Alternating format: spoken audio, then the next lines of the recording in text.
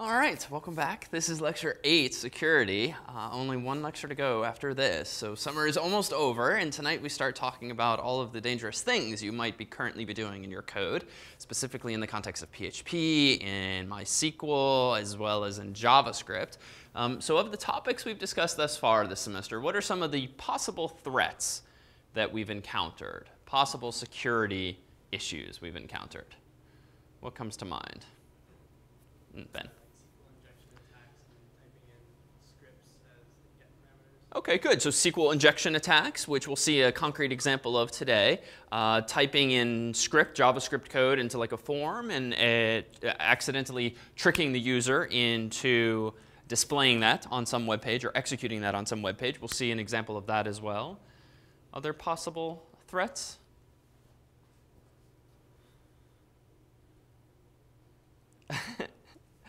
Isaac is looking to Axel for an answer. What do you got, Axel?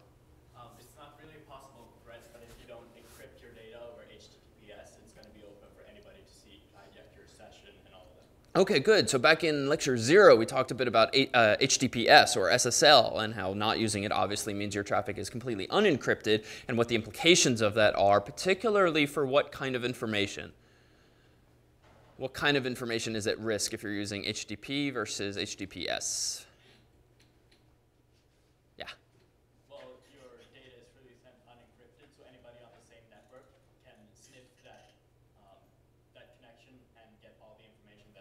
Okay, good. So anyone on the same network can sniff and, in, and read any of the data that you're transmitting, and frankly, on the entire internet, right? Anyone between you, point A, and say Amazon, point B. If Amazon's not using HTTPS at all, in theory, anyone with access to any of the various routers in between points A and B could sniff that traffic. So it doesn't just have to be wireless connectivity nearby you.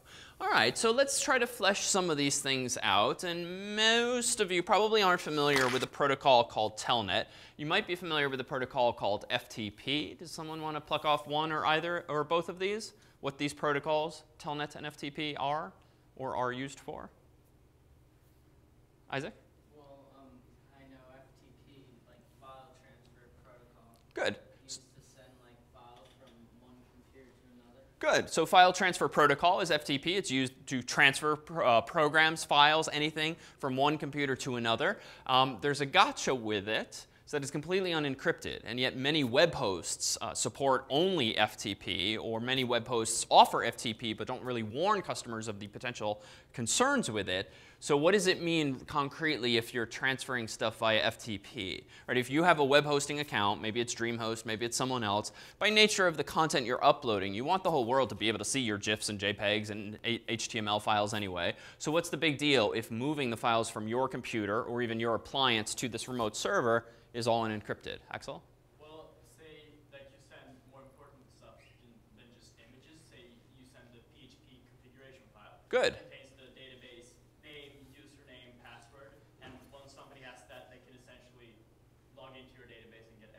Yeah, absolutely. So if you're sending more than just publicly accessible content like HTML files, JPEGs, images, and the like, but rather you're sending things like your PHP code, which has your intellectual property, or your configuration files for PHP, which might have your database usernames and passwords and God knows what else, well, now you're sending this completely in the clear for anyone on the internet or anyone in Starbucks, anyone between point A and B to potentially intercept. And even worse than that, what also is going in the clear if you're not using any kind of encryption when you use FTP? Axel? I think your uh, login credentials for the actual server. Exactly which is the absolute worst part of the whole story, which is that your username and your password are sent completely in the clear, which means who cares if everything else is sent in the clear? Anyone else can just log into the server after the fact and do whatever they want with your account. So in short, if you end up signing up for some commercial web host, if you end up supporting your own server locally, there is no reason today to use FTP unless it's maybe on a local isolated network, but even then it's just bad practice because you can use quite easily an encrypted protocol, one of which we're about to see, uh, one of uh, which isn't mentioned here, but it's called SFTP, Secure File Transfer Protocol, which actually has encryption. And these days, there is really no good reason not to use something like SFTP.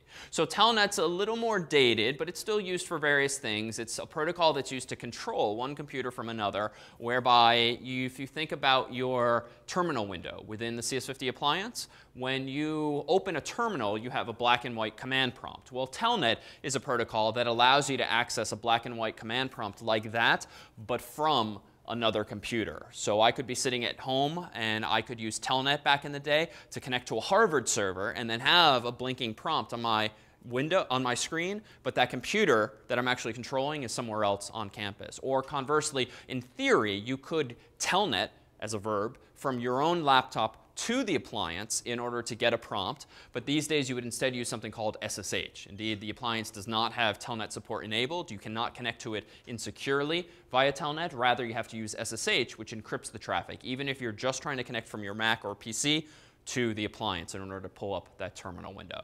And though I keep describing it as a black and white window, of course, some of you might have noticed that it supports color in theory um, with various programs, but it's still a command line interface ultimately. So HTTP, this one we've definitely talked about. What kinds of things are sent in the clear when you're using just HTTP and not HTTPS? What kind of stuff is at risk?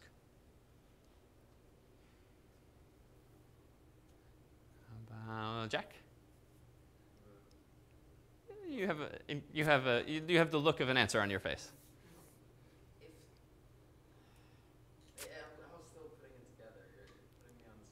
I know, I have time. It's okay. Come on, we can do it. HTTP, you have, it's completely sent in the clear. It's used by a lot of websites. So what kind of stuff might be sent in the clear? Your session. Okay, session. What's a session, though? Uh, the very same file that is on your computer that tells a website or a web host that you are the one currently logged into them. Okay.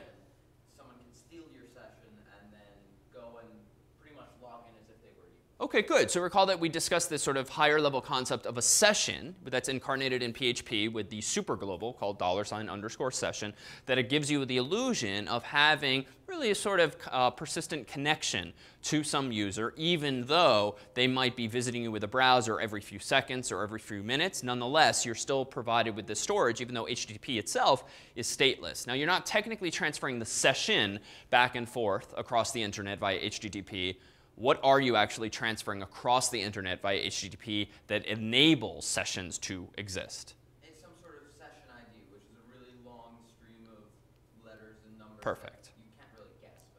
Perfect. So it's a really long sequence of letters and numbers, and this is specifically an example of what? The session ID is implemented as what, uh, with what feature of HTTP? Or how, where is this sent? Let's see, someone else? So like I totally agree that HTTP involves sending this unique identifier that somehow implements sessions. But how? If we opened up that virtual envelope, where in the contents inside would it be, this ID? Or what's in an example of? no one wants to make eye contact. Axel? I mean, it's sent in the, it's, uh, it's sent in the headers. Good. Okay, good. So it's sent in the headers as a session cookie or just as a more general notion of a cookie, right? There's the set cookie header that a server sends to a browser, and the set cookie header allows you to set a value for some key. And in the world of PHP, that key happens to be called by default PHP sesh ID in all caps, but that's totally arbitrary. And the server, meanwhile, uh, sets a value for that key, which is, as Jack says, a big random sequence of letters and numbers. And then every time the browser revisits that same website that originally sent it the set cookie header, that browser is essentially reminding the server, I am this ID, I am this ID. And weeks ago, we kind of likened it to a hand stamp that you get at a club or an amusement park so that it permits you access even after your first time through the gates. You can kind of come and go as you please because that hand stamp is sort of reminding the guy at the gate that you have been here before. And in this case, it's being even more specific. It's reminding him who you actually are, not in terms of your identity, but in terms of your unique identifier. So HTTP is dangerous in terms of its lack of encryption because the session ID, if it's being sent back and forth across the wire, it doesn't contain itself private information. It doesn't contain your username, your password, your credit card information because again, as Jack said, it's a big random number or a big random sequence of letters and numbers. But the catch is, is if you're not encrypting it, what's the implication if someone sniffs it and steals it somehow by listening to your traffic? Axel? Well, they, they can fake your session and pretend that their computer is actually my computer running the same session. Exactly. Enter website, that website is going to recognize that session and say, hey, you're already logged in. It's going to log them in, and it's going to display the, the, the login, the secure side of the page. Exactly, right? If, if all it takes to remind a server who you are is presentation of this big random sequence of letters and numbers, and a bad guy is able to steal that sequence of letters and numbers from you by just listening in on your traffic wirelessly or even poking around on your computer and then copying that big random sequence of letters and numbers. And then he is smart enough to know how to configure their computer to transmit that same cookie value with a cookie header, well, he or she can just pretend to be you, and the server doesn't really know the difference. So we'll come back to how we might mitigate this, but that's one of the key shortcomings of just using HTTP for anything sensitive, not to mention the fact that if you're submitting a form that has your username, your password, your credit card number, if the site is itself not using HTTPS, all of that stuff too is going in the clear. And so more private information could indeed be taken in that case. MySQL, meanwhile, is similar in spirit to the rest of these protocols in that it itself is not encrypted. Recall we talked briefly a couple weeks, a couple lectures ago that generally you want your MySQL server sitting on the same network as your web servers, even if it's on a different physical machine, so that your traffic is only going over your own local network and not connecting to some remote database server elsewhere. So, what are some of the problems we did solve, though, thus far? Well, recall there's this feature in the appliance, which I think I mentioned ever so briefly, or maybe not even. SUPHP, substitute user PHP. Oh, we did have this conversation. Recall that one of the problems with a web server in general is that if you are running that web server as root, that's very bad. And thankfully, it's rarely done these days. Why is it bad to run a web server, which is just a program that serves up web pages, as the administrator account, so called root? Jack? If anyone ever breaks into the, the account via some PHP hack or something, they can literally wreck anything on the server. Exactly. Root has root access. Perfect. So if the web server is running as with administrative privileges as the so-called root user, and that web server is executing buggy code that you or someone else wrote, buggy in the sense that there's something stupid in there that lets a user execute some command. The, the scary part here is that who's going to be executing that command if a bad guy's taking advantage of that bug or, it, or vulnerability in the software, it's going to be executed as root. And root, unfortunately, generally has privileges to delete everything, download anything, change usernames, passwords, install anything. It's just there's really no constraints on that particular user. So running anything as root is generally bad because, again, if what root is running is vulnerable to being taken over by a bad guy or tricked into executing some arbitrary command, well, then that command is going to be run as root, and at that point, who knows what the bad guy has done to or with your system. Axel, question, comment? No? Okay. All right, so we can fix this by running a web server under a different username, something like Apache or HTTPD, or some systems run it as literally an account called Nobody, and in all of those cases, the user in question does not have administrative privileges. So the worst thing that can happen if you're running your web server as Apache or as HTTPD, as the appliance does, is that the only account that can be compromised, the only account whose files can be deleted, the only account that can have some damage um, done to it is the HTTPD user. Now that's not great because that means a bad guy could take down your entire web server or delete the logs for the web server or any files that the, uh, the HTTPD user owns, but at least that's one user. You can just remove the whole web server account. You can blow away all those files because root hasn't been compromised and you can reinstall. But there is a problem. If your files are being read and executed by Apache, the web server, what do you have to chmod your files to be in that case? If you are someone like J Harvard or Axel or Isaac, if you have your own user ID and yet the web server is running as a different username like HTTPD, what do you have to set the permissions on your own files to for this to all work? Previously, it didn't matter because root can read and write any file, so it doesn't matter what the permissions are. He has unfettered access. But HTTPD wouldn't. So what do you have to chmod your files usually? And chmod, remember, is the command for changing the mode of a file, which means the permission, 644, 711, 700, A plus R, A plus X, whatever the case may be. And don't worry if you don't remember the, the codes, but in, in words, what kind of permissions do your files need? Yeah. This is probably not the best solution, but you can set all plus read on uh, a group with the, all the users that are allowed to access it, including Apache. Okay, say that once more. Set what to read? Uh, all plus read Oh, okay. on the group, um, on, a group, like students or just accounts on the web server, Okay, good. contains all the accounts that are allowed to uh, access that file, including Apache. Okay, good. So in theory, you could put all of the users into a group called students or something like that, and make sure that Apache's in that same group, and then you can give the group read access. And the command for this, recall, is not A plus R, but would be G plus R in this case. Chmod G plus R, group plus readability rights to whatever file or directories in question.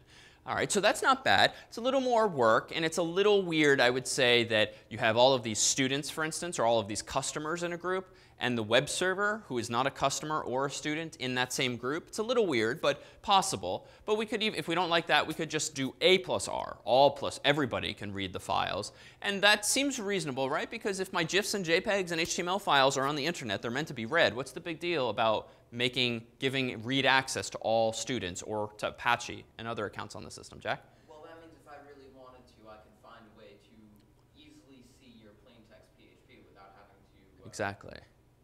go through any hoops. So in this case, if you're on a shared web host and you're a customer, someone else is a customer, someone else is a customer, and all of you are, uh, have your own websites, which is common on a virtual hosting environment like DreamHost or the like, but the web server, by necessity, needs you to chmod your files to be world readable. Those files then are going to be readable by anyone else on the system. For instance, if Axel has chmodded his files to be world readable, just because Apache needs them to be. Well, if Jack is a malicious user on this system and knows Axel's username, he can essentially start poking around his account using cd or ls or the various Linux commands with which you could do this and see Axel's PHP files, inside of which might be passwords, usernames, and so forth. So it doesn't feel ideal. It feels like we're giving too much access to the world here. Yeah.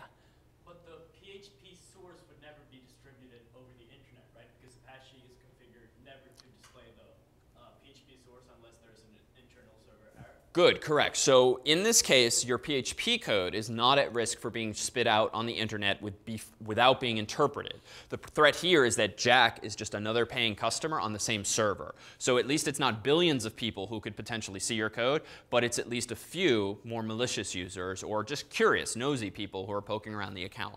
So thankfully, there do exist protections against even this. And even the appliance has this built in, even though it's not strictly necessary if there's only one John Harvard and the appliance isn't on the whole internet. But the principle is the same in that SUPHP and other software like it allows you to specify that the username that should be used to execute this PHP file should be jharvard. Shouldn't be HTTPD, definitely shouldn't be root. It should be whoever actually owns the file. So the idea here is that when you are running Apache in the appliance, which I'm currently doing, as is anyone else running this version of it, and I'm going to run a command that we haven't run before, but just to poke around, ps aux, and then grep httpd.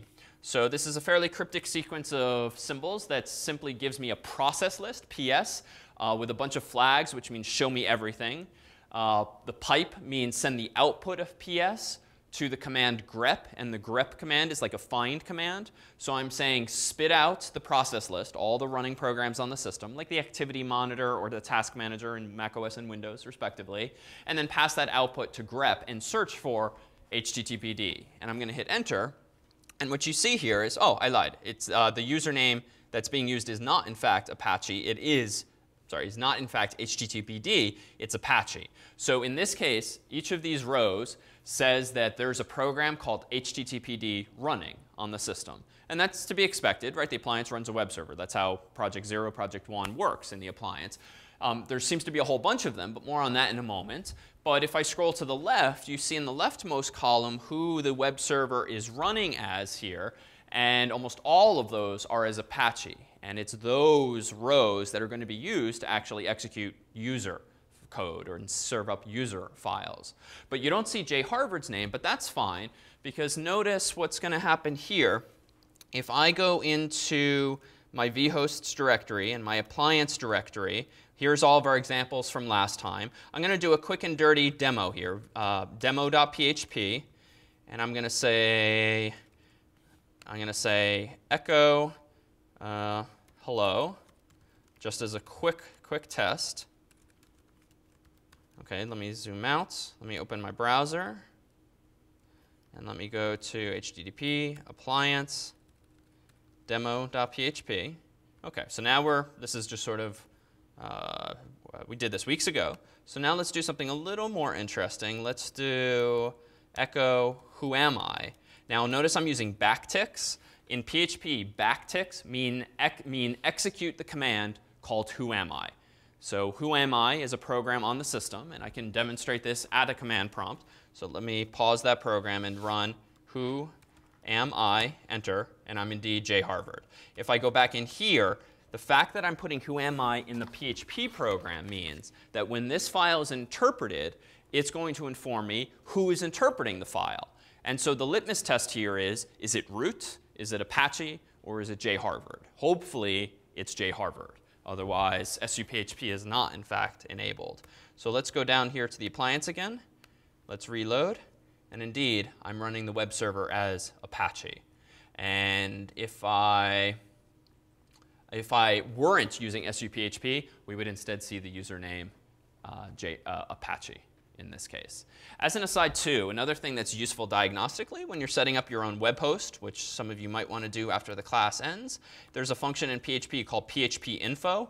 Generally, you would not write a program and then make it available on the web that echoes PHP info because this dumps all of the details of the current PHP installation, including its version number and all of the various modules that are installed.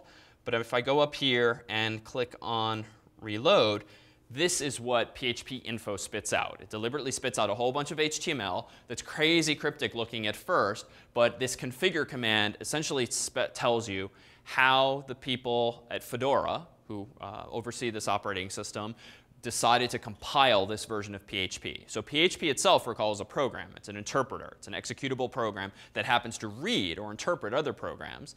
It itself is written in C or C++ most likely, and this is the command with which they uh, compiled PHP from source code into its binary. And all of these various flags essentially tell you what features are enabled. But there's an easier way to parse this. If we scroll down, we see a whole bunch of stuff. For instance, I mentioned weeks ago php.ini is the configuration file that's typically used. And this output is confirming as much, that the config file we're using is in the etc directory uh, called php.ini.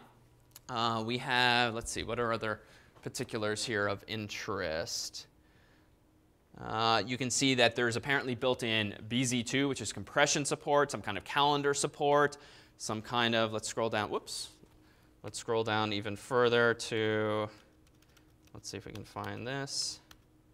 DOM support and so forth. So PHP has a, a whole bunch of modules that you can add optionally, and long story short, this output just informs you what's actually there. So this is useful because sometimes when you're using a commercial web host, they might have certain features on that you did not have on in the appliance. They might have certain features off. And running this, say, on your local machine, your Mac, your PC, your appliance, and then also running this command on the, uh, the remote web host like DreamHost will give you a sense of what the differences might be. For instance, there is a feature of PHP called magic quotes. And this has largely been disabled these days, but magic quotes did this. Anytime a user used get or post to send input to a PHP file, PHP, if magic quotes were enabled, would very presumptuously escape all of the quotes in that input. So anytime there was a quote, PHP would automatically put a backslash there.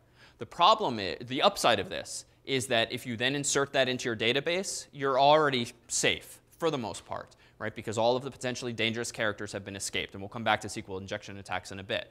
The problem, though, is that if you then call MySQL real escape string or use PDO or the equivalent, it's going to escape the escaped characters. And so a symptom that just the other day someone was seeing was that her code was spitting out quote backslash quote marks all out throughout her website. And it was because not only was she escaping user input, as is good practice. The web server is presumptuously doing it, and so just a lot of bad things happened aesthetically. So in short, this is not a good feature where you should outsource your security to the web server. You should be doing this yourself in code. Um, so this is something, too, that can be helpful diagnostically. And if I search for this, let's see if we can find it in here. Magic, yeah, there it is here. So enable magic quotes, but we've disabled it elsewhere in the configuration file, even though Fedora enabled it by default. All right, so finally, SUPHP then ensures what? So if your PHP files are executed as you, jharvard, or Axel, or Jack, and you screw up and you write buggy PHP code that somehow allows someone on the internet to trick you into running commands, not just who am I, but maybe the delete command, whose files, whose account are at risk when using something like SUPHP? Only their own, right? You can't affect other customers, you can't affect the root account, you can't affect the web server account. So in general, this is a very good thing. Meanwhile, files like images and, and CSS files and HTML files, those are just served up not as you, but as Apache itself, because it doesn't matter. Those are static files, they're not programs being executed. So SUPHP really just applies here to PHP files. All right, so you guys proposed cookies earlier as a potential threat. And here's one such example. So these are HTTP headers. Um, 200 at the top signifies what? Don't say OK. Yeah. Well, everything, uh, well, it's really OK.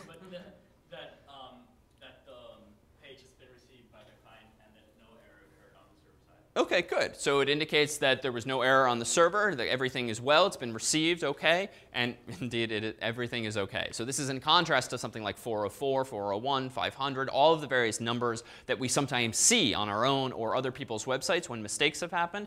But here, 200 you rarely see, and you'll, in fact, you'll only see it if you take a look at the HTTP headers because it means all is well. So we see some other information, date of the current web server, uh, when this response was made, the server's name and version number, X powered by. Why are these included in the headers? Axel? Uh, really no reason other than Notion and just Apache selling their product. Um, Which is free, in fairness. Yeah, no, no, no.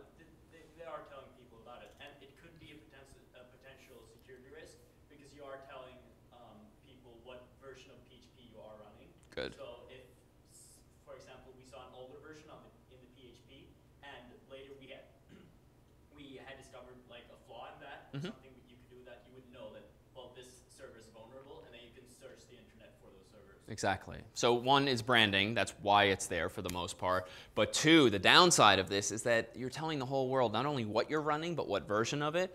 So as Axel says, if there's somehow a flaw discovered in PHP or in Apache, and it's in a specific version of one of those, because it was introduced accidentally at some point, well, now you've just told the whole world that, hey, I'm vulnerable to this error, and if someone is kind of like aggregating that information and hanging on to it for a rainy day, the moment the world realizes that, oh, PHP 5.3.3 is buggy, let me go ahead and wage my attack using the list I gathered in advance by poking around on the internet to compromise those servers. So you're just making it unnecessarily easy for the adversary. So this kind of stuff is typically on by default, but where can you disable something like the Apache line? Its version number. Where would you go? So if you, if you agree that this is not necessary and not great, how do you go turning this off?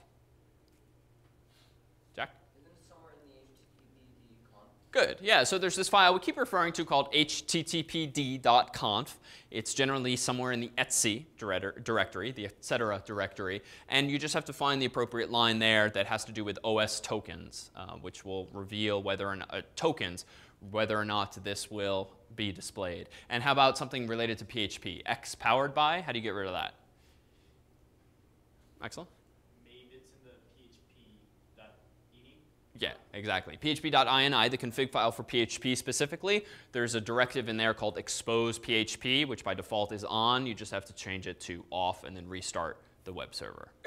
All right, so more interestingly now is this expires date. This is kind of weird, right? I definitely didn't make this example in 1981, and yet for some reason there's mention of 1981, Thursday, 19 November 1981 in my headers for some reason.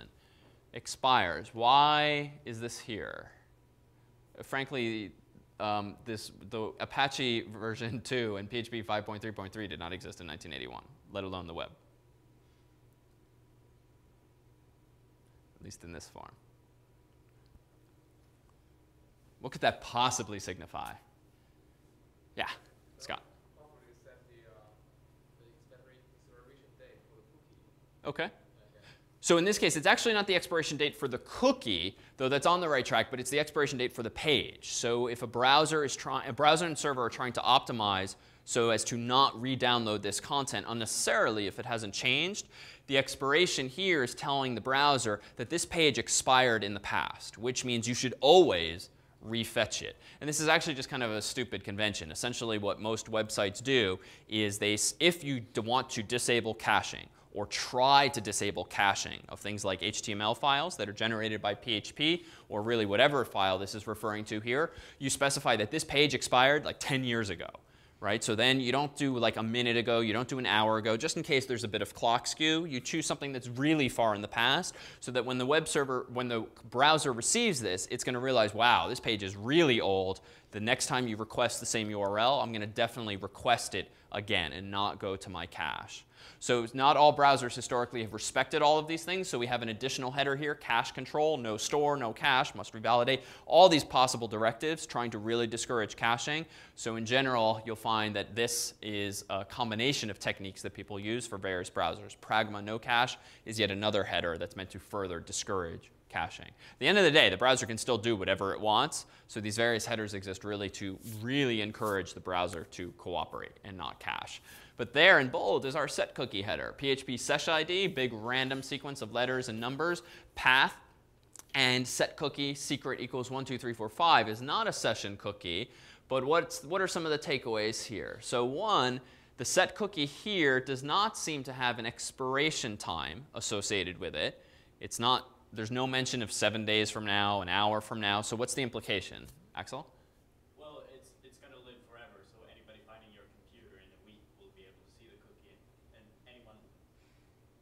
Uh, so careful. It's actually the opposite in this case. So PHP sesh ID, so when you set a expiration to zero, whereby you don't have an expiration, that actually means the opposite, which is that this is only going to live for the life of the browser.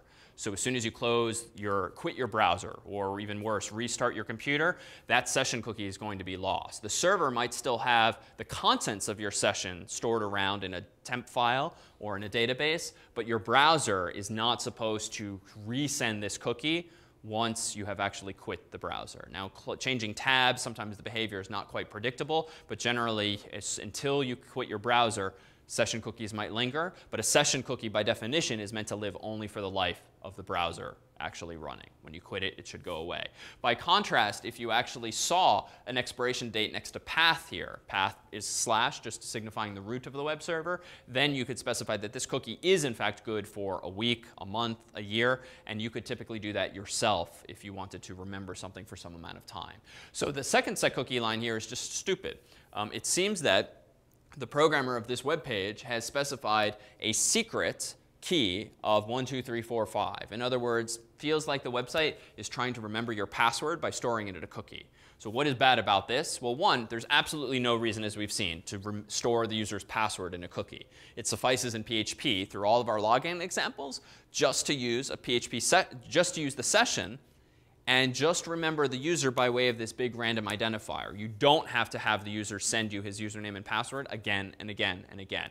So this would be indicative of bad practice or at least an opportunity now for a bad guy to kind of do something malicious with that. Yeah, Axel. I have a question. Um, um, when I worked with uh, cookies, you had to specify which domain and subdomain the cookie was valid in. Mm -hmm. So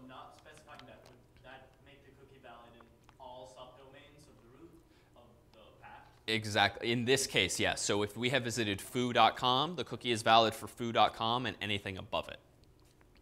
So www, foo, uh, bar.foo.com or the like. It's a good question. Um, potentially, yes. If you're running a big site with multiple subdomains or different applications, web applications running at different subdomains, absolutely. Generally, you should put cookies in the most narrowly defined cookie space as possible. So if you have a website that is, again, foo.com, and you have a.foo.com, b.foo.com, c.foo.com, all of which are different applications, maybe with different users, different functionality, then you should really be setting your cookies in a.foo.com or b.foo.com, and nothing should go in foo.com itself. Really good point. You can also uh, mitigate this in some part by uh, as we saw with mod rewrite, the ability to redirect the user to different URLs. If you want to standardize not on cs75.net, but www.cs75.net, you can ensure through a redirect mechanism that you're only planting the cookies in the www version, ultimately, which can be useful. All right, so let's push a little harder on this cookie issue and session hijacking. So session hijacking, again, to be clear, refers to the process of someone stealing your cookie somehow, whether by sitting near you in Starbucks or having access to the routers on the internet between points A and B, and then presenting it to the world as their own. Now, how can you go about hijacking some, someone's session? Well, physical access. If you have physical access to someone's computer, how do you go about finding their session cookie? Yeah, Jack. Yeah, exactly. You can poke around in some operating systems and some browsers literally to a folder somewhere on the hard drive that contains cookies. Now, in fact, the folder tends not to contain session cookies because it tends to contain persistent cookies that have an expiration of uh, that's not zero. Um, but in this case, you can probably open like about colon cookies or about colon history. Generally in all browsers, you can start poking around your own history. So if you have physical access to your siblings or your roommate's computer and they've left it unlocked, there's really not much of a barrier between you and their cookies. Might take some technical know-how, but frankly, if you Google how to find cookies in Firefox or the like, I'm sure someone has posted how you can go about finding cookies in various browsers. Useful for diagnostic purposes, a little scary if you're uh, vulnerable to having your session hijacked. Packet sniffing. So we talked about this earlier, whereby it's really not all that hard to download free software these days that just sniffs wireless traffic in Starbucks, in this room, anytime you're not using something like WPA2, the encryption protocol that's used by a lot of wireless routers these days to encrypt your traffic. Well, then anyone sitting near you right now could be sniffing your traffic and stealing your cookie from any website that's unencrypted. So session fixation is just a unnecessarily fancy way of saying hard coding a session ID as your own. Now, in theory, you could just guess someone's session ID. Uh, by picking a random sequence of letters and numbers. But the reality is, as you saw, these things are so long, that's going to take a huge amount of time for you to try guessing all possible session values, uh, session keys, and that's why they're so long. But as soon as you found it, maybe by sniffing or physical access, session fixation just refers to the spoofing of your own cookie as by writing a program or downloading some program that says, here, use this cookie as my own and not what the web server gave me. And then XSS, cross-site scripting attacks. We've discussed these a couple times and we'll see in just a little bit an example. So how do we mitigate these threats? Like this is a bunch of scenarios, all of which lead to a bad ending for me, whereby my session's been hijacked. What kinds of defenses do we have against these various scenarios? Axel?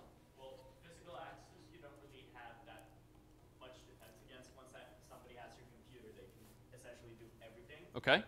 Uh, but packet sniffing and session, session fixation, that could be fixed by uh, sending the data encrypted via Good. HTTPS.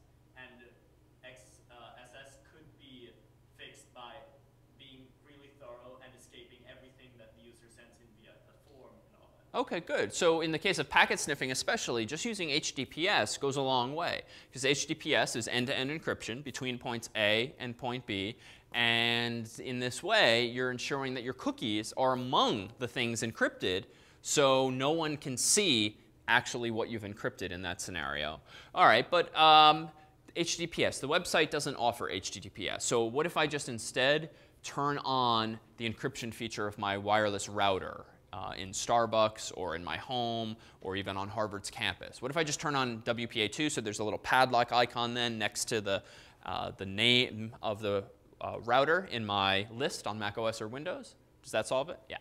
Well, anybody who's ever done a trace route sees that the actual packet is sent through multiple routers and many networks before it actually arrives. Okay. So anybody on any of those networks can essentially do it, and even if they don't have, and, and if they don't Okay, good. And to be clear then, when I turn on something like WPA2 and connect to an access point, a, wire, a Wi-Fi access point that requires a password, for instance, that one right there on the wall with the green blinking light, where is my data encrypted? Between what points? Yeah. Well, your computer and the router, Good. And how, where is it not encrypted? anywhere else. Good. Between the router and anywhere else. All right. So good. So what's the implication there? Well, you're protecting yourself against someone in Starbucks, but you're not protecting someone who's somehow sitting between you and point B, whether it's some random staff member in some facility that has a router or it's someone in Amazon's area. In short, you don't have true end-to-end encryption. So better, but not great. And XSS, we'll, we'll come back to in just a bit as to how to try protecting that. But there's some other things you, I'd propose here. Um, hard to guess session keys. So frankly, they're already pretty hard to guess, but clearly PHP's long session IDs are not a complete protection, because again, as soon as you sniff them, you can just copy paste. So making them even longer is probably not going to gain as much. What about rekeying the session? In other words, changing the user's session ID, changing the value of their PHP sesh ID cookie every few seconds, every few minutes, every request, whatever. Just change it once in a while. Good, bad? Axel? Um, I, I see a potential risk with that. Wouldn't you be sending the session, the, wouldn't you be sending it uh, many times?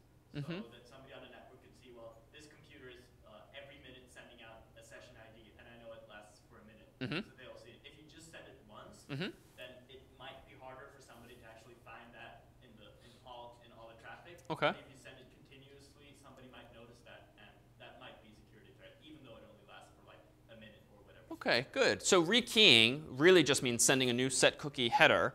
But the problem is if you're worried about people sniffing your keys and that's why you're changing the key, well, if the threat is that they're sniffing your keys, you can change it as much as you want. The bad guy is still just going to sniff the new ones. So you might be making his life more annoying in that he has to constantly stay up to date with your latest key. But actually, there's a worse scenario here. If the web server is changing the key, Well, if the person, whoever's trying to hack in, sniffs your cookie or your key, sniffs your session and takes Mhm. and they log on in some period of time while it, it's expired, the session, they get your session ID and they also make it so that you can't exactly. get on with that same session. Perfect. If you rekey the session, but the bad guy's already sniffed your initial ID, spoofed it, his own as yours, so as to log into your Facebook account or whatever, and now the server decides, okay, it's time to rekey to prevent bad guys from getting in. Who's going to get the new key? Potentially first the bad guy, at which point your key, your cookie is no longer valid, so you've effectively just been logged out of your account. So in short, rekeying, while it might seem like, oh, this is a good way to sort of dodge the adversary, doesn't really fundamentally help us because it's still sending the rekeying over the same insecure mechanism. Encryption, this is actually a pretty decent solution. And using at least something like uh, Wi-Fi with encryption enabled, so at least you're not vulnerable to random people who are sitting in the airport or Starbucks who are bored near you. More likely than not, someone near you cares a little more about your data, roommate, sibling, or whatnot, than some random person on the internet. So at least that raises the bar, but even better would be HTTPS. Unfortunately, not all servers support that, and indeed, it was only a year or so ago that Google started offering it for Gmail um, by default, and Facebook only a few months back started offering SSL support as well. So, but not all websites have done it. Because what's involved in SSL? How do you make your site run on HTTPS? What do you need? Yeah. Well, you buy a certificate that, that a person sells, and the way that people sell certificates is through a big chain of trust. Good. Um, yeah, so somebody trusts somebody, and all the vendors of the SSL certificates, they're backed up by bigger players. Okay. Say big companies. So that's essentially how it works. And it's it's not it's not really it can be assuring for the user, but it's mostly just getting the green bar and then an image saying certificate, um, like yeah, this is uh. Okay, good. So in, in short, if you want to enable SSL on your server, one, you have to buy or you should buy a certificate from someone reasonably reputable. You don't need to break the bank by paying for $1,000 VeriSign certificates. Generally, uh, $50 or $100 ones from places like GoDaddy or the like suffice. But you do have to buy this because you need someone else to to endorse the fact that you are who you say you are. In other words, if I go to GoDaddy and buy a certificate, before they give me that certificate, they're going to send an email to the email address of the person who bought that domain. Hopefully it's me, because if that's the case, they're going to send an email to the email address with which I bought the domain. That email account, I'm going to check. I'm going to see, oh, uh, someone is trying to buy an SSL certificate for cs75.net. Is this OK? Click this link to approve. And if indeed I've received that email, I can approve it. By contrast, if Axel owns some domain name like axel.com, and I want to for whatever reason, buy a SSL certificate for his domain, because maybe I'm trying to trick users into visiting my website by calling it the same domain, and therefore I want to trick them even more into thinking it's secure by buying an SSL certificate for his domain name, he's going to get that email confirmation because he bought the domain, he gave them his email address, and unfortunately, they're not going to hand me the SSL certificate until he confirms. And unless he actually confirms um, and isn't reading the email, well, then I'm going to get that uh, certificate after all. So once I do that, I install it in my web server. We saw a while back in httpd.conf. You have to specify the file name of the certificate that you've downloaded, as well as your so-called private key, which is a number that you have generated. Because at the end of the day, recall that SSL boils down to this thing called public key cryptography, which is a uh, mechanism, mathematically, whereby a person has a private key and a public key, and which of those is used for what process when it comes to encryption with which of those keys, private or public, would do you encrypt information, if you know?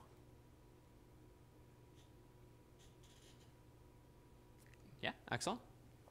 The private one? Uh, not a bad guess, but it's the opposite. So in this case, in public key crypto, you start the process by generating two really big random numbers that are somehow not quite random, they're somehow mathematically related. And they have these key properties in public key crypto, whereby the private key is the only key in the world that can decrypt information that's been encrypted with the public key. Now, why is this compelling? The fact that I have two keys is really nice because suppose now Jack and I, suppose I'm a user on the internet and Jack has a website and he's trying to sell widgets on this website securely using HTTPS and therefore he's bought an SSL certificate and somehow I need to communicate securely with Jack. Well, unfortunately, most encryption algorithms assume a private secret between me and Jack. For instance, if you think back to a silly example in grade school, if you wanted to pass a note to a classmate or someone you were crushing on, you want to send them a secret note, literally pass it to a classmate and then give it to the boy or girl across the room, but you don't really want the teacher, let alone the kids between you and that boy or girl, to intercept it and read your secret love note or whatever it is you're sending. So a kid might do something super simple, like uh, change the letters around. So instead of sending an A, you send a B. Instead of writing a B, you write a C, C, D, and so forth. Something simple like that. And in fact, there is an algorithm known as the Caesar cipher, or ROT13, rotate 13, which is a specific example of this, that does exactly that, right? Because what's a non-technical teacher going to do? They're going to see this note, it's going to look like nonsense, they're not going to know what it is, or they're, they're at least not going to care to decrypt it by figuring out how you encrypted this. So in short, nice little childhood encryption scheme. So the problem with that is that if Jack is some random website on the internet from whom I want to buy something for the first time, Jack and I do not have some known algorithm that we can use. I can't just write him a purchase order and then encrypt it by changing A's to B's, B's to C's, and handing it to him over the internet because he's obviously not going to know how to reverse that process. So I could call him up. We could agree on some secret, like rotate all the letters one place or something stupid like that. But obviously, this is not how Amazon.com works or real stores work. So public key crypto is an alternative to that scenario, which is generally called secret key crypto, where Jack and I have some secret. If that's not going to work, I can instead use public key crypto, whereby I have a public key and a private key. Jack has a public key and a private key. And the nice feature of public keys is that, as their name suggests, you can broadcast them to the world. You can display them on your website. You can put them in your email signatures. You can just send them in the clear over the internet whenever someone asks you for it.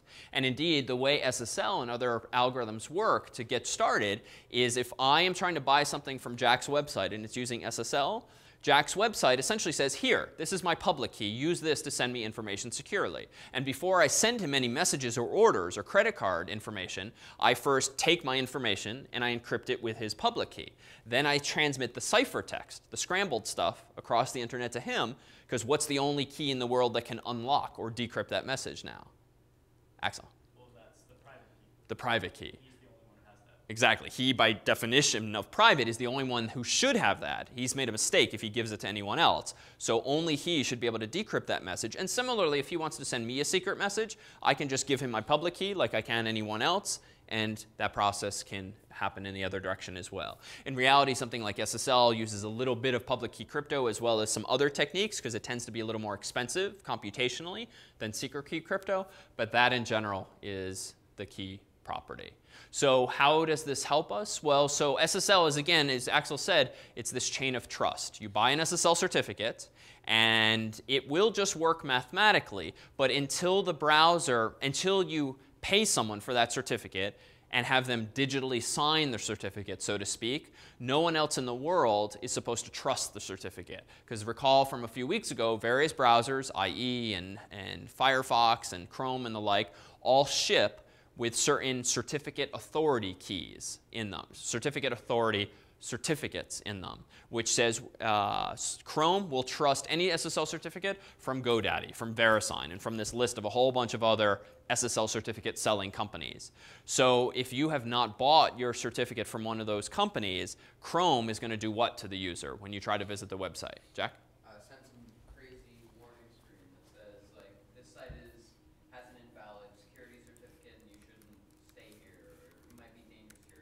Exactly. You will get some warning message scaring you.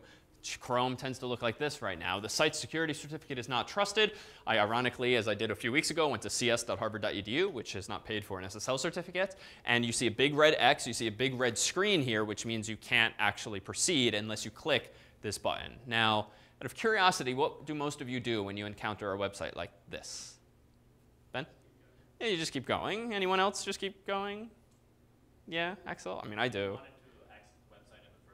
Right, if you want to access the website and you know you haven't mistyped it, so you haven't gone to some sketchy random website, you're where you want to be, this generally signifies an error or a lack of payment or the like. So I would propose, and I have no data to back this up, that most people probably proceed. Now, in fairness, Chrome makes it pretty easy to proceed. You literally just cl click Proceed Now. If I instead use something like Firefox and go in here, Firefox is a real pain in the neck. So if you've ever used Firefox, you, here is how you get around this issue. And this is kind of tragic because if you do screw up or you don't want to pay for a certificate, and you pretty much should, or if you generate your own certificate and do what's called self-signing it, in other words, you do the mathematics yourself, which is totally legitimate in terms of the formula, but you haven't had anyone else vouch for you, like GoDaddy or VeriSign, here is what your friends or family or customers would have to do in Firefox. Um, one, they're probably not going to click Get Me Out of Here. They're instead going to have to click I understand the risks, add exception, get certificate, confirm security exception, and now you can proceed, and so forth. And right now it's hanging for just a moment, but there we go. Now it redirected to the actual CS page. So no, most people are not going to do that. Even I get annoyed as anything when I have to go through those hoops. So in short, this is why you pay for an SSL certificate. Now, the theory behind it is great. As we discussed a couple weeks ago, chain of trust, it's very reasonable. It's a nice way of sort of ensuring there's a mechanism in place whereby you're not visiting potentially bad guys or the wrong websites. But again, um, it's uh, nice in theory. It's not necessarily the best experience in the end um, in practice. All right, any questions? All right, so rather than scare with some math, let's go ahead and take our five minute break here. But when we come back, we'll give an example of how you can implement public key cryptography to make it a little more concrete than just there's math that makes it work. And then we'll also take a look at a bunch of other threats, including involving SQL, JavaScript, and HTML. So why don't we go ahead and take our five minute break here.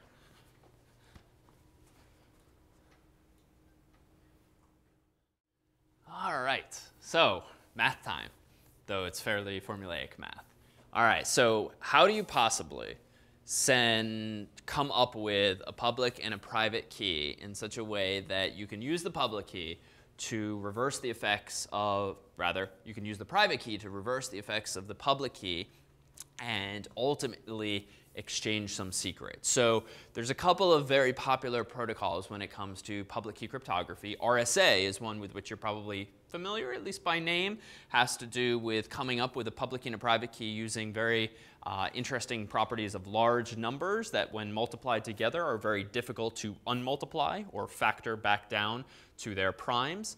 Uh, so, but that one's a little more involved, and so a nice one to use for the sake of discussion when it comes to public key crypto, something called Diffie-Hellman, or DLP. And this is an algorithm that similarly involves public key cryptography, but it's an interesting example of how you can essentially shout across a crowded room some number and your partner, B, can do the same, and somehow together that mere exchange of that information is enough to come up with a public-private key pair.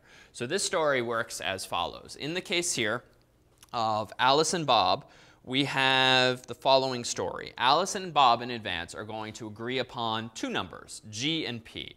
P is going to be some prime number, and G is going to be what's generally called a generator, which is often the number 2, as simple as that. But P is a big prime number, and they can choose P however they'd like. So they have to agree upon those in advance. They can tell their friends and announce to the world what they are. These are not secret values, but they have to decide on them uh, up front.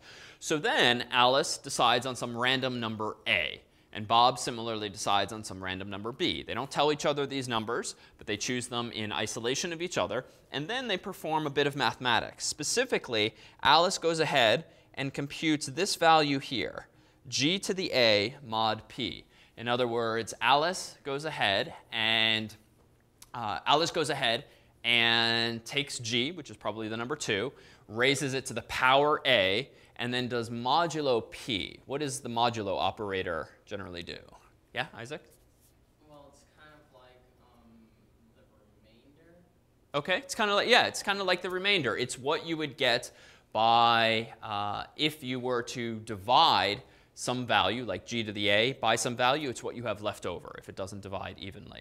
And as an aside, I'm trying a new program for the first time here, which is why I have this trial software on the screen, but it's the only way I could try drawing for the first time here today. So g to the a mod p ends up being some number, and we're going to call it generically t sub a. So it's t and it's Alice's t. So what does Alice then do? She transmits that number, g to the a mod p, otherwise known as t sub a, across the internet in the clear doesn't matter. So in other words, even though it's drawn here mathematically as g to the a mod p, she doesn't send that written expression. She sends the result of that arithmetic operation, t sub a. So Bob does the same thing, but using his b instead of a. So he gets some number, sends that across the internet. So at this point in the story, Alice has sent that first box. Bob has now sent the second box. And so now Alice has what? She has a, because she came up with it. And she also has t sub b. Similarly, does Bob have B and T sub A? So those are the values that have now been exchanged. So what do they then do? They then both go ahead and compute this value and this value. Alice computes T sub B raised to the A power. Now what does that mean? Well, T sub B is just our variable that represents what Bob sent her. So she's raising whatever Bob sent her to the power of A. And Bob does the same thing, raising to the power of b what Alice sent him. But if you recall how exponentiation works, when you raise something to the power and then again to another power, you end up multiplying the exponents. So mathematically, what both Alice and Bob have done here is raised g, which again is some number like 2, to the power of a times b, or rather power of b times a, but that's the same thing. Uh, with multiplication, you can do it in either direction mod p. So at this point in the story, Alice has A, she has T sub B, but she also has G to the AB mod P, even though she doesn't know what B is. And Bob, conversely, has this, the same resulting value, G to the AB mod P, and he has B, but he doesn't have A. So we've seemed to have constructed a scenario in which both Alice and Bob have some shared secret, rather, where Alice and Bob both have some value, g to the a mod p, but each of them only has a piece of the rest of the puzzle. Alice has a, Bob has b. So essentially, Alice and Bob can now use this number to encrypt information, and they can reverse its effects by using their own respective private keys. So it's not quite identical to, for instance, what a browser would use these days. It's sort of a simpler version or a simpler story of what's possible, but it hints at how the mathematics can behave in such a way that you can share some information publicly, like me just talking to Jack's web server or me just talking to Bob in this scenario, and nonetheless preserving some notion of privacy whereby there's still a number that only I know and can use for the decryption part. All right, so now let's try a concrete example of the SQL injection attack we've been talking about for some time, but haven't necessarily teased apart. So here's a login form up top that's representative of most login forms. You got a username and password field and then a checkbox for keeping me logged in. Now, as an aside, before we look at the SQL, how does a box like that generally get implemented? Facebook has something like this. Most websites have something like this. And when you check that, it obviously keeps you logged in until either for seven days or until you explicitly log out. Yeah, Axel. Well, it has to store the uh, uh, logged in variable in a cookie, right? Because Good. the session would uh, be uh, would be destroyed once you actually uh, once you um, close the browser window. Good. If you want to be still logged in when you open it again, you have to store it in a cookie. Good, exactly. So by checking this box, I'm essentially asking the web server, plant a cookie in, on my hard drive that somehow will remind you who I am and that I have logged in. Now, in the worst possible implementation of this, that box could result in the server setting a cookie with both my username and password so that anytime I visit, it just sends it again and again. And then when I finally log out, it just deletes those cookies. But that's, of course, not a good mechanism. We talked earlier about HTTP, and if it's sent in the clear, you're just telling the whole world your username and password. Plus, it's just not necessary. So instead, what this button would probably do is tell the web server to set another cookie that's not the PHP sesh ID, which is a PHP specific thing. It's just for the super global's purpose. Instead, setting a cookie with the set cookie function that's called authenticated or something like that. And that key, authenticated, has some value that's similarly a big random looking number, but that big random looking number is remembered on the server, maybe in some database, and the next time the server sees that same big random number in a cookie, it checks its database and sees, oh, I gave this big random number to Isaac. Let me assume that this is Isaac again and show him Isaac's Facebook profile or whatever website he's actually visiting. Now, of course, you're still vulnerable to what? Well, physical attack. Okay, physical access is always a problem, but what else here? Jack? Packet sniffing. Packet sniffing, right? If it's not HTTPS, this feature is even worse now because sessions are generally ephemeral, right? They only exist for the life of that browser window. But something like a cookie that has a seven day expiration or no expiration, that means someone can sniff this and use it anytime they want. So, all the more reason to ensure that this is encrypted. All right, so now the SQL part of this. Suppose that this form is a login form that essentially results in a SQL query getting generated like this one here. So we have, this can be implemented in a few ways, and I went with the MySQL query version of this specifically so that the inputs would not be escaped. So let me go ahead here and zoom in a bit.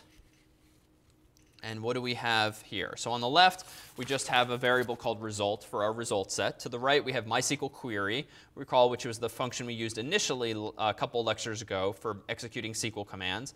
Then I'm using sprintf. Does anyone recall what sprintf does? It's not strictly necessary, but it's a possible approach. yeah, you insert placeholders where the variables go, and then you do comment, and then you define the variable. Yeah, exactly. You just insert these placeholders. So in this case, I have a placeholder percent %s, another placeholder percent %s, and that means that the next two arguments to sprintf, here's the first, here's the second, are going to be plugged in for that placeholder. And it just makes things a little more readable. I don't have to use the concatenation operator, the dot operator. I don't have to use the curly braces. It's just a one way of constructing a SQL query without just doing it all very manually. But there's a fundamental problem here with my query because I've obviously not done what? Axel. Uh, you haven't escaped with the user input, so you can put anything. Exactly. I haven't called MySQL real escape string, which even though it's a poorly named function, it does escape potentially dangerous characters, things that might lead to the server being tricked into executing a command like delete or drop in the database. Now, how can we see this here? Well, notice that the SQL query that's being built up is select UID, so user ID or whatever that is, from users, where username equals quote unquote something and password equals quote unquote something. So, what's perhaps a dangerous character a malicious user could provide? when filling out this form. Jack? Semicolon? Semicolon, potentially dangerous because it would seem to terminate the query, or in this case, what's even worse? You can do a single quote to end the username. Um, yeah, to end your username, and then you can insert a SQL in between. Exactly. In this case, the semicolon is not going to be too worrisome because it's going to be in between quotes, so it's not going to terminate the query. But if I were to be like uh, David O'Malley, like O apostrophe M A L L E Y, or some Irish name that has an apostrophe, or any name that has an apostrophe, that's going to be a problem because it's going to be where username equals quote O, seemingly unquote, and then Malley, and then another quote, a third quote, and now things are just imbalanced. Now that's going to break. So that's just going to trigger some kind of server error. But what if the bad guy is smart enough to realize that if he's going to pretend to close one of my quotes, if he's going to pretend to close this first quote here, he had better realize that in order for this not to be a syntax error, and in order to truly trick the server into executing something, he better open a new quote later that corresponds with my second apostrophe. So what do I mean by this? Well, let's take a look at what a user might type in. Suppose the user, rather, whoops, suppose the user types in this. And I've deliberately removed the bullets that would normally appear in a password field, just so you can see what this bad guy has typed. But what if he claims his password is 12345, quote, or quote unquote 1 equals quote 1. Now, that in and of itself does not look syntactically valid. But what's the implication of the bad guy having provided this as his password, Axel? Well, it's going to be sent to the server, and first of all, it's going to add two quotes on either side because that's what's inside your uh, uh, password thing. Good. But then it's going to interpret, I think it's going to interpret the 1 equals 1 as just a valid logical uh, statement. Good. So it's going to return true to the login.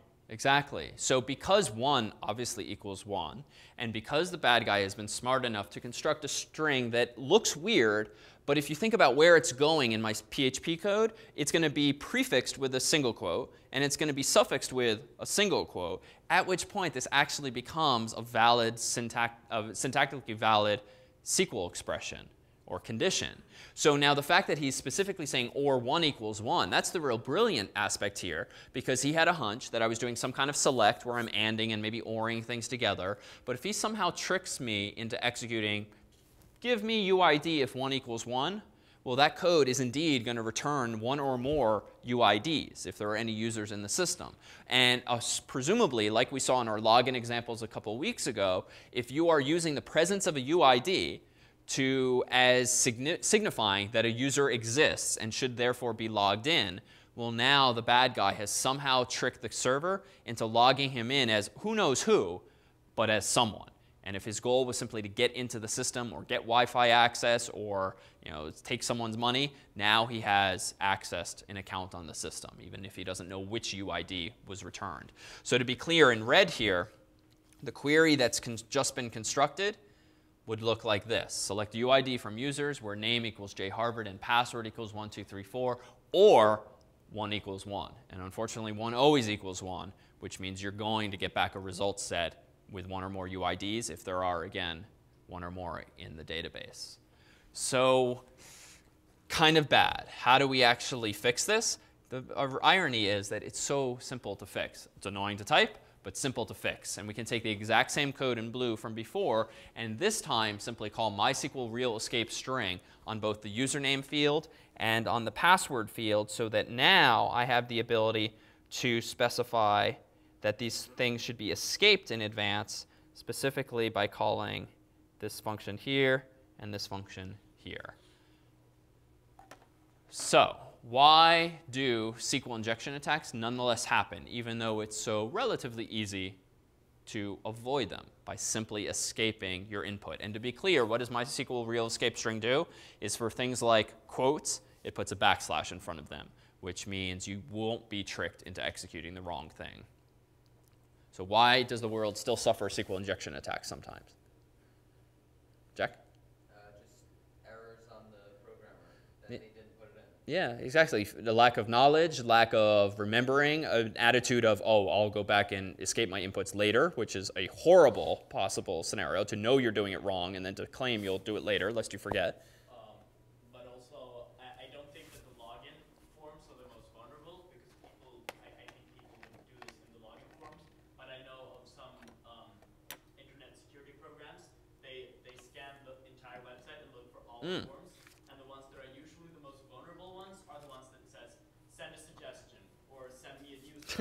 Yeah. The ones that were added later on top of the site after the login was finished, and they didn't really think that that would be a uh, potential potential security threat. That's good. Yeah, it's like it's potentially the stupid or the seemingly innocuous forms that have nothing to do with security, nothing to do with users, but if they have to do with SQL, like if you're using SQL to insert in, into the database some user's feedback, well, the problem here is that they can execute not just or 1 equals 1, they could do something like semicolon, select star from users, and dump your whole database. Or worse, they can do drop table users or delete uh, star from user or delete from users. You can do any number of things. So in fact, some of the popular press attacks that you've read about, there was one, was it Yahoo's? Someone's recently, I forget, that involved a dump of a SQL database was very likely the result, or was likely the result of something like this, where they someone injected SQL into a script that hadn't scrubbed it po- properly. That, or someone got access electronically to the database and just kind of manually executed these queries. Both scenarios could yield the data in question. I don't think Yahoo or whoever it was was very I it was Oh, LinkedIn. Maybe that was the one. I don't think they were very forthcoming with their details. But the fact, too, that one of them actually had clear text passwords, I think, that was idiotic, whoever that was. That was just not necessary, right? That was like, what, lecture three or something. So, all right. Anyhow, so what, what more is there to fear out there? Oh, and to be clear, in green here, this is what the bad guy would experience if you actually called MySQL real escape string. It looks stupid, and, but it's no longer tricking you into evaluating something as an 1 equals 1 expression. Now it says, give me the user ID where the username is jharvard and the password is literally 12345 semicolon space OR space and so forth, which is not likely someone's password. And even if it is, it's probably John Harvard who's trying to log in with that. All right, so same origin policy and its relation here to security. So we talked briefly about this on Monday. In what context? There's the same origin policy that, long story short, essentially says what? Axel? Well, I, I encountered it when I tried to get some JSON data from the Yahoo. Um, I, I, they wouldn't allow me because I wasn't on the same uh, server. Good. So what I had to do, well, you, you can go around it. You can just do a PHP that file gets contents Mhm. and then uh, echoes the HTML. Mm-hmm. Um, but y- you would essentially, the, the policy constitutes that you have to be on the same server to actually get the data. Exactly. Browser behavior is governed generally by the same origin policy, which is really relevant for us most recently in the context of AJAX, which allows us, of course, to get more data from a server and incorporate it into the existing DOM. Problem is, the same origin policy tells browsers that you can make AJAX requests to other servers, but you cannot integrate their response into the current DOM because it's not from the same origin as the original DOM, the original HTML file that was downloaded. So there's a couple workarounds for this. One, the person who owns the server, Yahoo in that case, could start sending certain HTTP headers called CORS headers, C O R S, that essentially tell browsers it's okay to let people incorporate our data into their existing DOMs. Most websites don't enable that, and you can do it if you run the server. You can't do it if obviously you're trying to get, use Yahoo. Alternatively, you can write a proxy, a little PHP script that's maybe one, two lines that makes the request for you, but that PHP script at least lives in the same origin as your JavaScript file, so that might help. You can use a third-party proxy service like Yahoo's YQL service that I mentioned last time, which will allow you to go to some other server and sends it back to you in a way that you can incorporate it back into your own DOM, which is nice. Or you can use something called JSONP, called padded JSON, which essentially uses some interesting script tag uh, hacks so that you can grab data from a server and you tell the server in advance what function you want to be called when the data comes back. And if the server cooperates, then you can trick the server, rather, it's not so much a trick in that case. You can incorporate data into your DOM by using a server that supports, again, JSONP, padded JSON. But many websites don't support that. They'll support just JSON or XML or the like. So in short, number of workarounds, but a pain nonetheless. Oh, and this affects everything, Windows, frames, objects, uh, AJAX requests, and it's the AJAX ones that are the most uh, current for us. All right, so a couple of remaining attacks to be mindful of. Things that you might not have even appreciated as you've made your HTML-based websites, or more recently your PHP-based websites, or now your JavaScript-based websites. Cross-site request forgeries, um, which has an acronym I rarely remember, and cross-site scripting attacks, SS, XSS. So what are the two, and what should you fear? So here's the story here. Um, you log into something like Project 2, and suppose it lives in some domain name on the web, so domain.tld, top level domain. So you log into project2.domain.tld, you then visit a bad guy's site, and the bad guy has a link to this URL here, http project2 domain.tld slash buy.php symbol equals infx some penny stock. You unwittingly buy the penny stock. What's going on here? So this is assuming something like uh, CS75 finance in this case, although actually uh, 2 should, would have been the BART. So if it's project one, this would have been something like CS75 finance. And it seems to be proposing that this bad guy has a link that just so happens to be leading back to your domain. But he has it there because he just likes tricking people into buying this penny stock. And that's advantageous for him, the bad guy, because the more people that buy the penny stock, the more drives the price up, then he can sell and screw over all of these people. So reasonable attack scenario.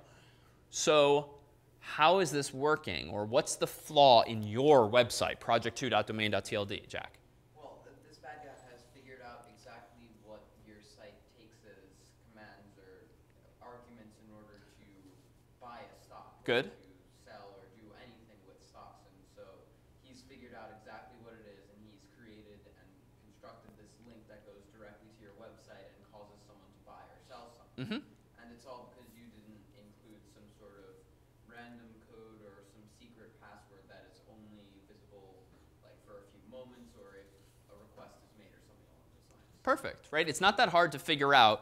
how a website works. You can just use Chrome's inspector, right? Anyone who's taken this class like has the savvy with which to start poking around and just figure out how like almost every mechanism of a website works, unless thing like JavaScript code's obfuscated, which just makes it harder. But at the end of the day, you can certainly figure out what HTTP parameters are being used by just watching the traffic in your own browser or some other debugging tool.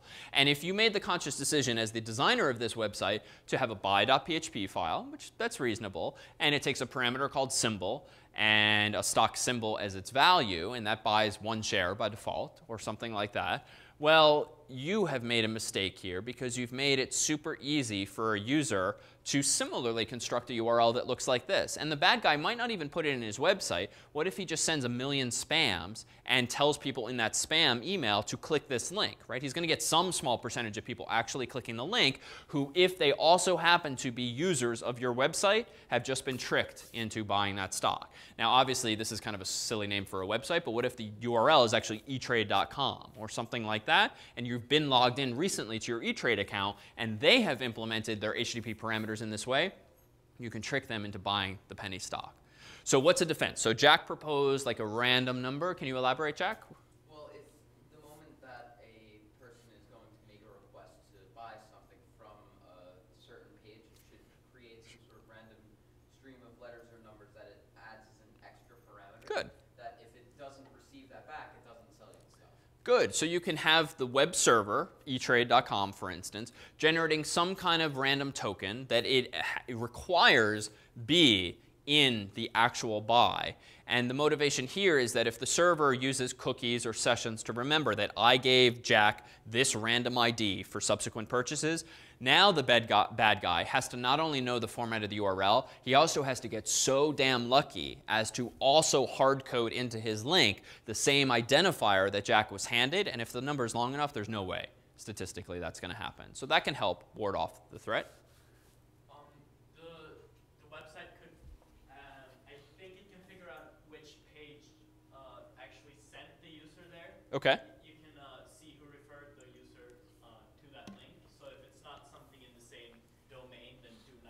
Ah, really good thought. So among the HTTP headers that a browser typically sends, there's one called H uh, the referrer header, which specifies I came from this URL recently. And this is useful. This is how things like Google Analytics figure out where you're coming from when you get to a page. They can tell you that you came from Google or the like. But the catch with this uh, HTTP referrer header is that it's not guaranteed to exist. It's a nice feature that most browsers honor, but if you're one of these paranoid types or you are behind a corporate firewall that scrubs certain information, the HTTP referrer header is not required for correct behavior of a browser. So privacy scraping tools, privacy scrubbing tools could remove it altogether. Um, and it's just not always sent, depending on how you visited the URL or you open a new tab or the like. So not bad. It raises the bar a bit, but it's not a sufficiently reliable mechanism. It's not going to keep your purchases super secure. So one problem too seems to be we're using what method here for the stock purchase, Ben? Get. Okay, so what's an obvious alternative then? Yeah, I was gonna say if you use post, there wouldn't be a URL that's so obviously, you know, writable by anyone to create the action. Okay, good. So if you use post instead, you don't just have to trick the user into clicking the link. You have to trick them into filling out a form, or at least clicking a button. Axel? Well, you could, um, the, the bad guy could send a link to his own website, and that website could contain a form that auto submits and contain and sends it to that particular PHP. So Good. you'd still be able to post uh, a buy command. Good. So, so that's the catch. So this does raise the bar, and you've just protected your, uh, yourself against the less intelligent of adversaries. But we saw the other day how you can register event handlers for forms that prevents form submission. Turns out in JavaScript there's a function called submit that you can call to actually submit a form via code. So all you've done here too is you made it a little harder for them. You've tried now the user has to fill out has to submit a form by clicking a button. But again, with JavaScript, and almost everyone has JavaScript enabled, a user could visit a page, there could be a hidden form there, and they're tricked into submitting it because there's a JavaScript function that just says when the DOM is loaded, submit this form automatically. So raises the bar, helps maybe with um, emails a little bit, but not all of the possible attacks. And in fact, it's a little scarier than this. Even though I chose this example of like a spam email or the user visiting the URL, take a look at these other possible attacks. Suppose you just happen to visit a website that has an image in it, a script tag, an iframe, another JavaScript tag with some code. You can trick the user into visiting URL in so many different ways, right? Simply by including an image tag. That's maybe the simplest one. And notice this is kind of weird in that I'm saying the image is the URL of the buy.php, but it's not a big deal if that doesn't actually return an image, right? It's going to return a broken icon or something like that, but who cares? I just tricked the user into buying the stock already. So realize that you don't even have to be overtly trying to trick the user into clicking a link. You can trick them into sending an HTTP request from their browser or their mail client just by hard coding the URL. So now Post would help with these attacks in particular, but not in the case of a browser supporting JavaScript. So how can we really fix this then? It's not sufficient just to use post. I claim it's not sufficient to rely on the referrer header because it's not always there.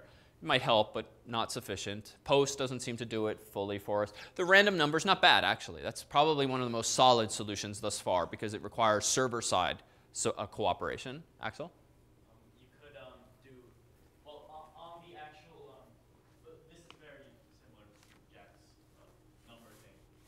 And uh, yeah, but you could, uh, in the form that you submit, um, you could uh, include a hidden field Okay. contains a random number.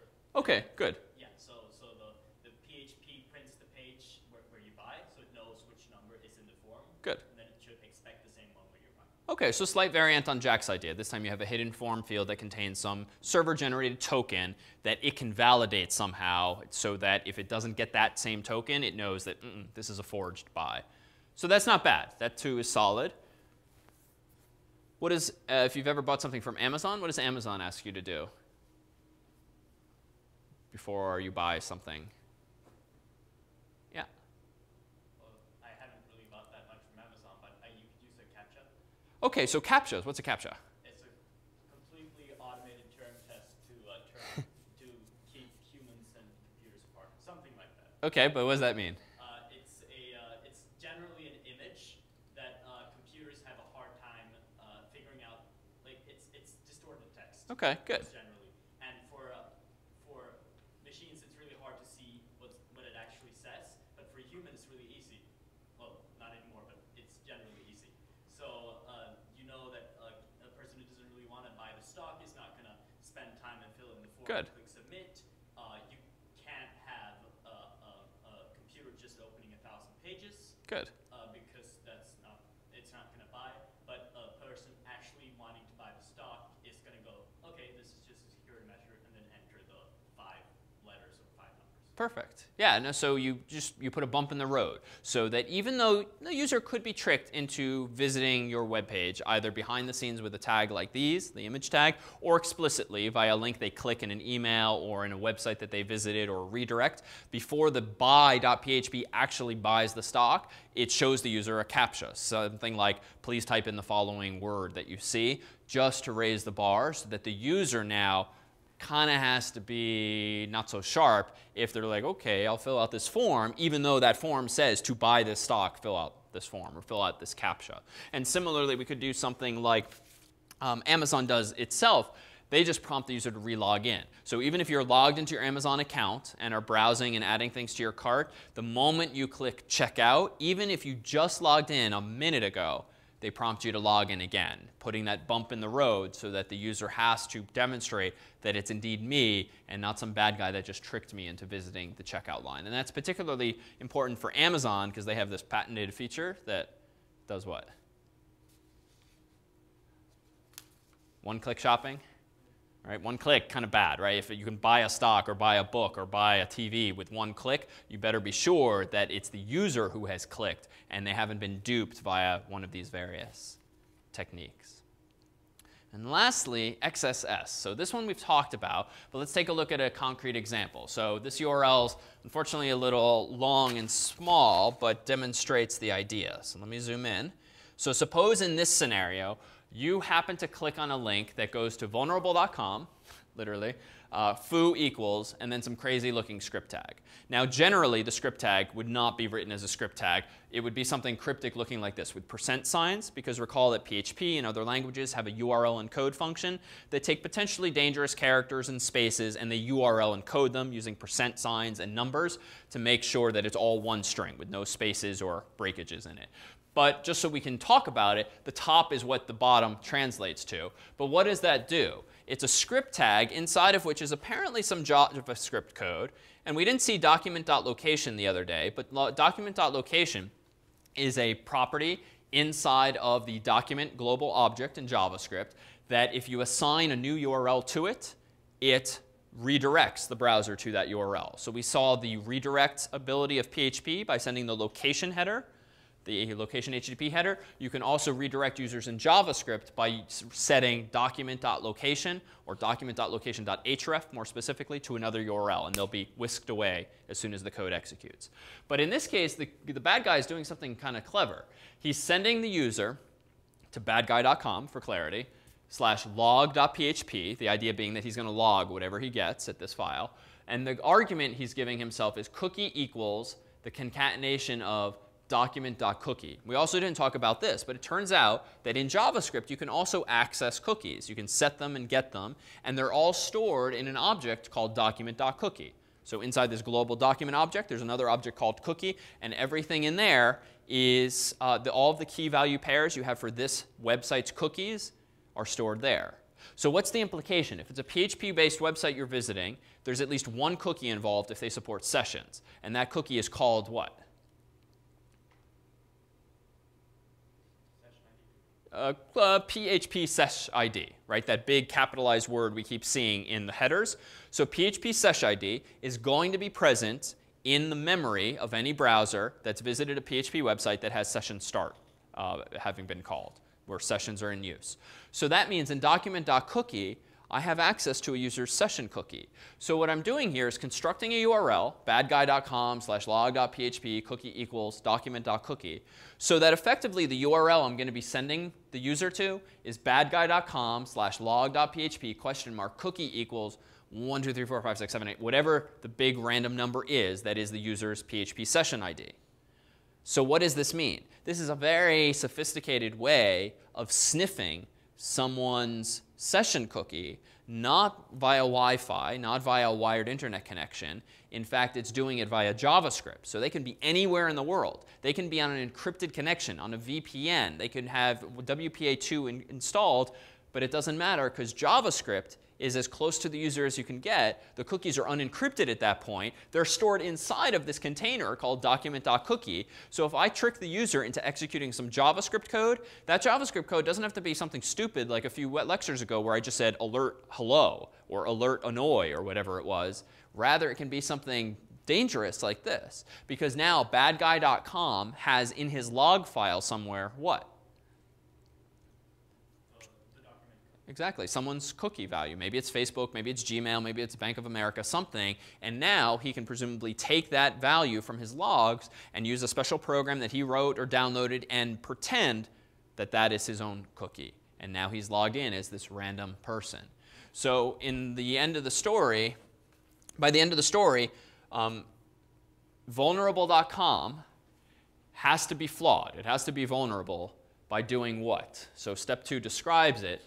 But what do I mean by it makes the mistake of writing the value of foo to its body? Jack? At one point, it does have something like echo foo without uh, making sure it's a safe string. Exactly, right? So just as we did this silly example a couple lectures ago where I tricked the browser into triggering an alert that said hi or annoy me or whatnot, if there's a similar form on vulnerable.com's website and I have tricked it into pre-populating that form field with, in this case, a script tag, because that's what the bad guy has tried to trick me into providing as input, and you did not only called, you only called print or echo, or use the equal sign operator, you did not use what function? HTML special charge. Yeah, htmlspecialchars, which escapes things with ampersands and entities and the like and makes them not execute. Well, badguy.com is going to get your cookies in this case. So what's the key takeaway here? How do you protect yourself against XSS? Jack? Escape your uh, variables. It really is as simple as that, right? Like the alternative is don't click links, but that's not going to happen. Users are going to do that. And it doesn't even matter if they click because they can just use an image tag to trick them. Don't trust user input, so that's a given, right? So a key theme here with these last these latest attacks is you should never trust that what the user is typing in is going to be valid and you should certainly encode it or escape it so that you're warding off these kinds of attacks. Right? Because what if, and again, just to emphasize one lesson from our JavaScript discussions, but this is why we have uh, form validation. Why don't I just check that what the user is submitting doesn't contain the open bracket or the script tag? Why do I also still need to encode or escape all user input? Well, you, anyone who's tech savvy can bypass that Like- either through the developer tools or by uh, doing his own um, HTTP um, um, po- um, well, it's a get really uh, via the terminal. and you can Exactly. Send whatever they want, bypassing the JavaScript. And if you disable JavaScript in your browser, it's not going to validate. Exactly. Client-side validation, not sufficient because it can be so easily disabled, as I did the other day, by just clicking something. You can turn it off for your entire browser via some preferences menu usually, or you can just write your own software at a terminal window that pretends to be a browser and therefore doesn't have any JavaScript support whatsoever. It just makes HTTP requests. So there's a whole number of attacks that we explored today, and we've talked about things here and there over time, but ultimately the lesson really should be never trust the user's input and also consider the fact that at least one of your users is going to be some adversary or just a little bit curious as to your site works, and you should never just expect that you know, users are going to behave in the manner you intend. So what remains? Thus far, we've been using the CS50 appliance. You've been having probably one user bang on your website, or two, including your teaching fellow. But on Monday, what we'll discuss is scalability and how you can actually take a website and not just tolerate dozens or hundreds or even thousands of users, but maybe tens of thousands, and what kinds of design decisions you can make even for the simplest of projects so that if you do have some happy coincidence of becoming popular overnight, as some websites these days have become, um, you at least have designed things in such a way that you can scale your website out without having to throw a lot of money at it, certainly, and also without having to rewrite all of your code. There's a number of decisions you'll be able to make up front that if you are so lucky as to have a problem of scalability, you'll be able to adapt to it. Um, why don't we adjourn here? I'll stick around for one-on-one questions. Otherwise, we have section coming up, and I'll see you guys on Monday.